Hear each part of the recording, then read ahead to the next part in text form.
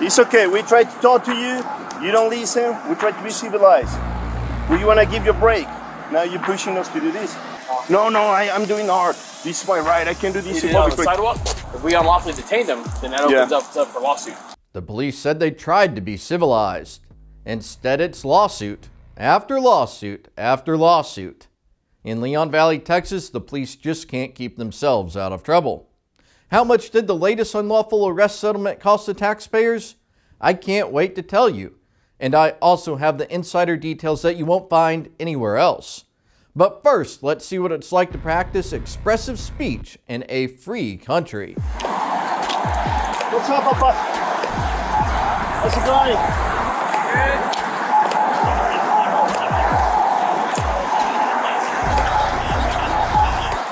Good Good on, man. Okay. Somebody called us because you did graffiti. So if you don't have a permit, unfortunately, yeah, you have freedom to of stop. expression to create on public property. I've been, It's public, yes. yeah, I've been arrested one and three, three times now. Uh-huh. So I mean, if y'all need to arrest me for it, you can arrest me, and then we can go to court after that. Uh, you just have an ID on you? What am I doing wrong?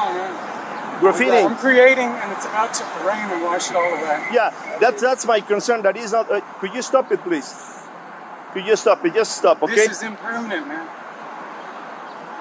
Co- Come right here, please. Sit on this way.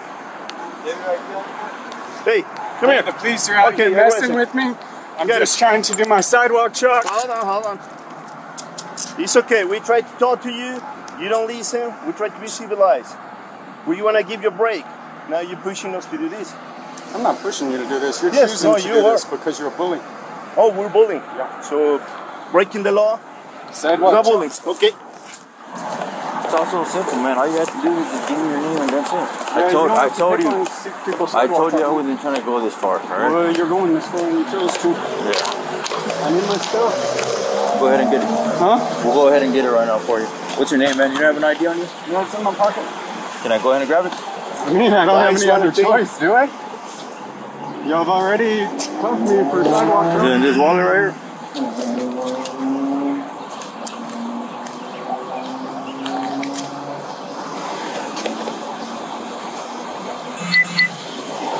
So you're just trying to get some tip money off of that or what? Yeah. Gotcha. Trying to create beauty in a public place. As long as you don't have a permit for that. You don't need a permit. No? Okay. You can explain that to the judge, okay?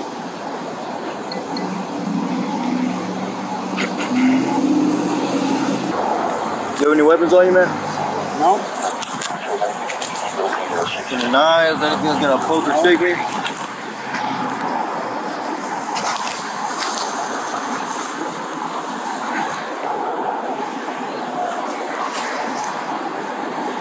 Backpack, my artwork over there. All right, man. Just do me a favor. Just go ahead and uh, I'm gonna go ahead and take you in the back of my patrol car, all right? And then we're gonna figure out what we're gonna go ahead and do, all right? This time you're just detained. You're not free to leave.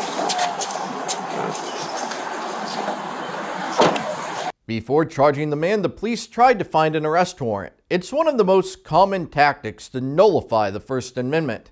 When he came back clear, they arrested him on a bogus on view charge to take him off the street. There. Some? Okay. Okay. Uh, take his phone. These are the elements of the crime. These two. This one, I, I don't know. It's not mine, so it's gonna leave right here.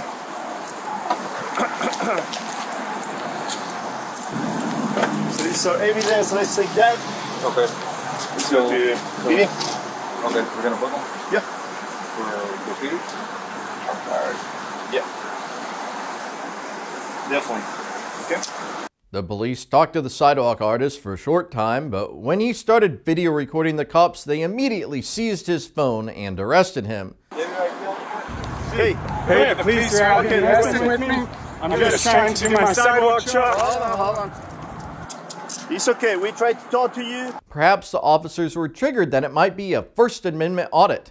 Officer Breton, who was training the younger officer, was a faithful frontline soldier of Chief Joe Salvaggio when Leon Valley declared war on those who filmed the police. That included raiding the family of a YouTuber and a mass arrest at a fake press conference.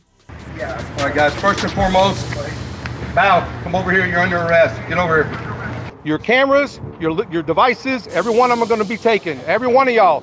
I need your device. Okay, I'm not, I don't want to give it to you Which voluntarily. one's bring it back? I'll take your camera. Alright, sir, come here. Need your camera, sir. Take his camera and quit talking to him. You want a confrontation, bro? I'm not gonna give it I to don't, you. I don't want a confrontation. Have a good day. Maybe they're coming to get me. Maybe Leon Valley issued a warrant. Police, search warrant! Get out! Get out! Get out! Get on the ground now! Everybody down!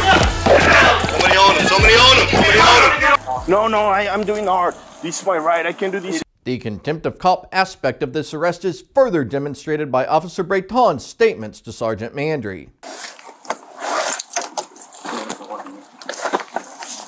You alright? Graffiti. How much?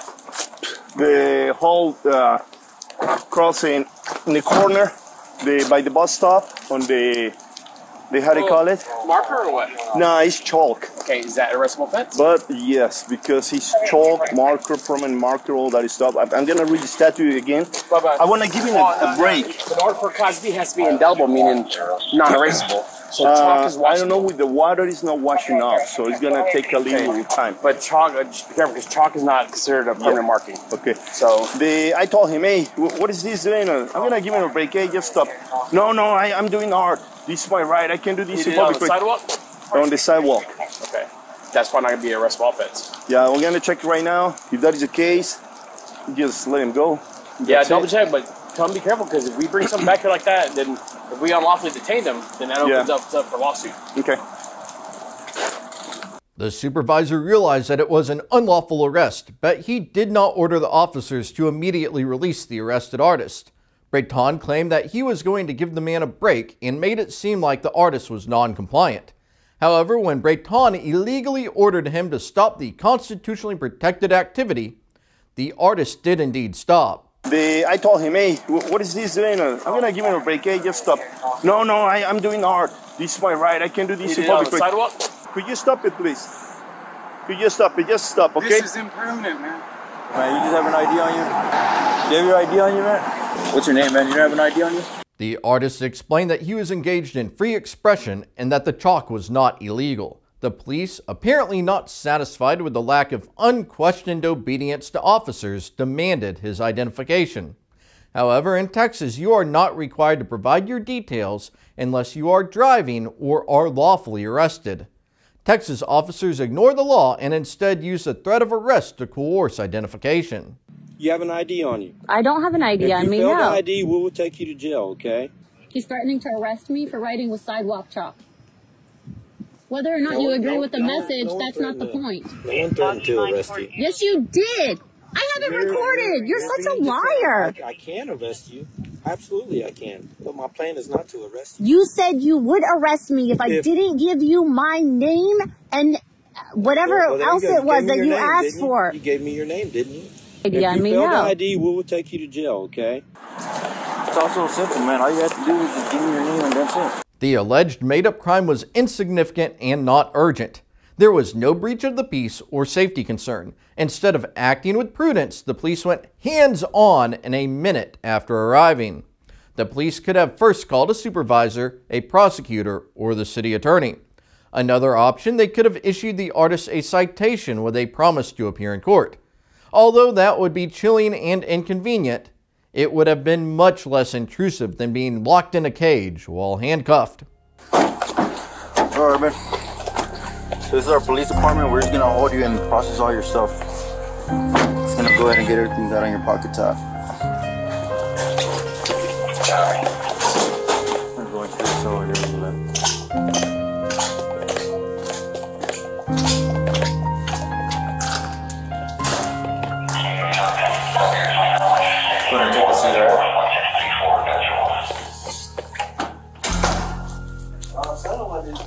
The artist was released without charges later that evening. Had the police not immediately resorted to force, this would not have cost the taxpayers. The hasty actions of the police officers left the city administration with no opportunity to prevent the violation. However, after investigating the incident, the city administrators did what every government could do say, I'm sorry. On May 15, 2023, an individual was arrested for displaying public chalk art. On behalf of the City of Leon Valley, we'd like to extend our apologies to Lakey 360.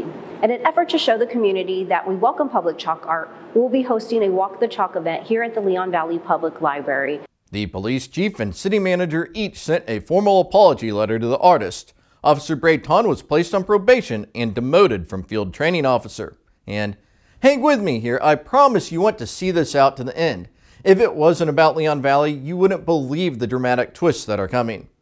Alright, so a few weeks later after his arrest, the artist addressed city council and urged them to fire Officer Breton.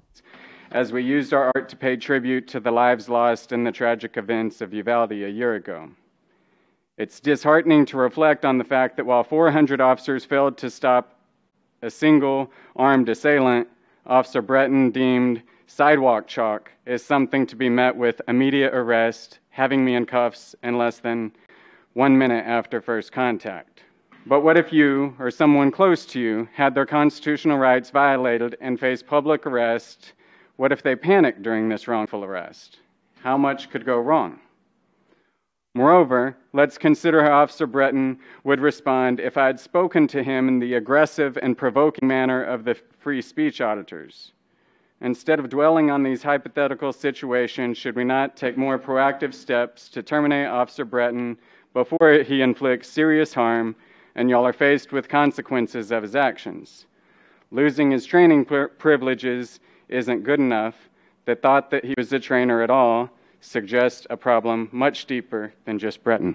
This isn't the first time Officer Breton has been a topic at City Council. According to voting records, Breton lawfully voted in the Leon Valley election, even though he doesn't live there. It's part of a Republican election manipulation program that encourages out of town police officers to vote for the incumbent officials who employ them. A local activist, Eric Mata, called out the police for their political involvement. Three registered voters using the address of 6400 El Verde Road, that they are either currently serving on LVPD, our police department, or our former LVPD, serving in other cities, Justice. But the idea, again, that we see officers getting involved in politics here is outrageous. Thank you. We will see this to, to an end and root out this corruption. Be ashamed of yourself.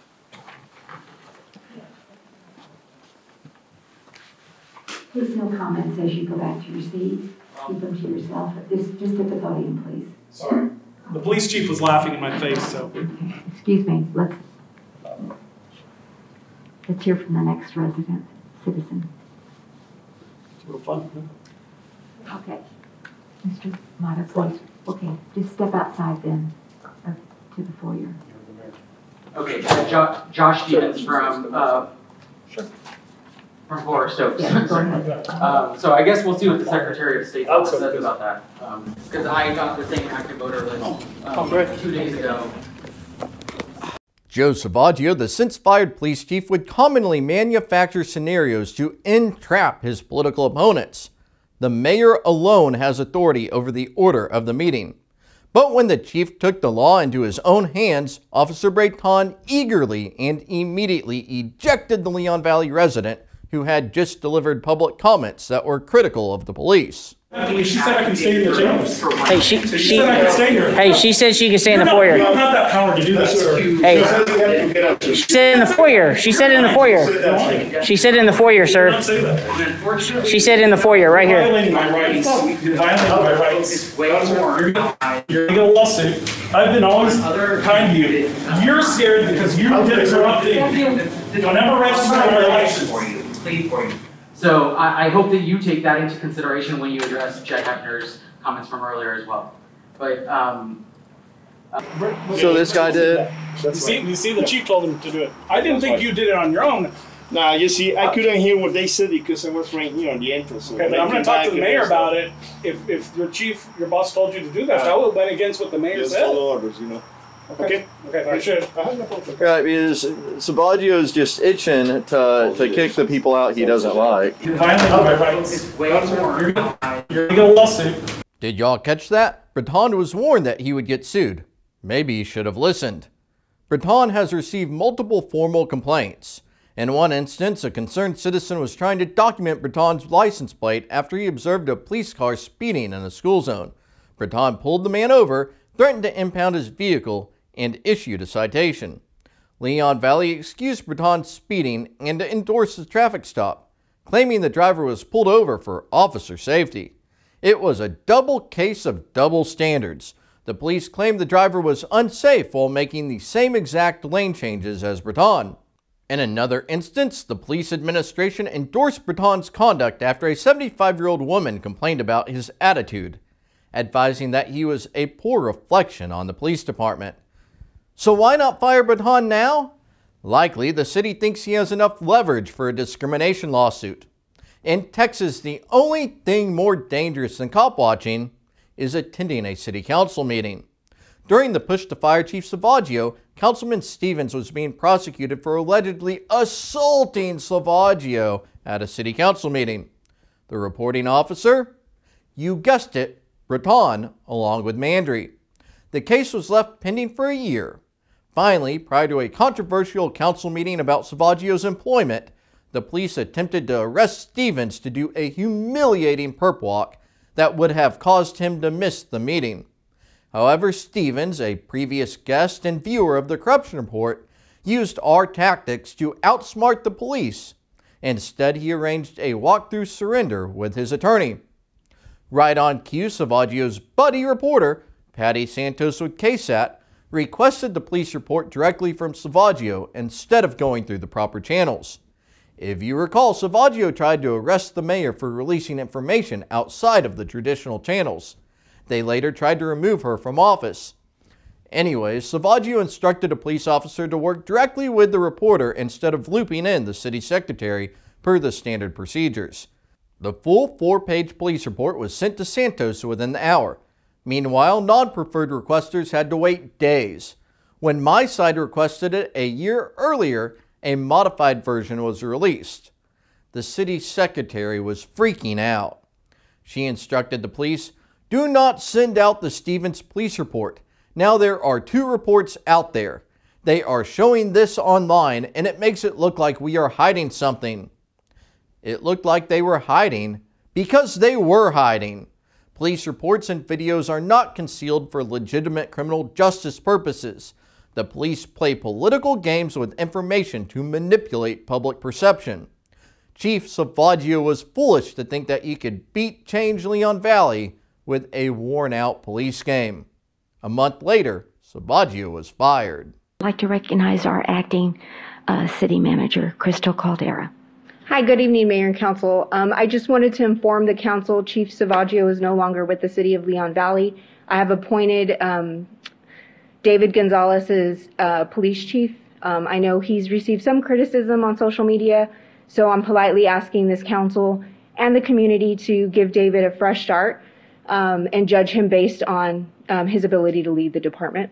Breton wrote in the police report that he was outside to prevent a disturbance due to Change Leon Valley members gathering and talking negative comments against Salvaggio. Breton then took Chief Salvaggio's statement, noting that the chief's chest is hurting because Stevens pushed himself back towards Salvaggio and struck Salvaggio with his left elbow. Breton admitted that it was Salvaggio who first approached Stevens.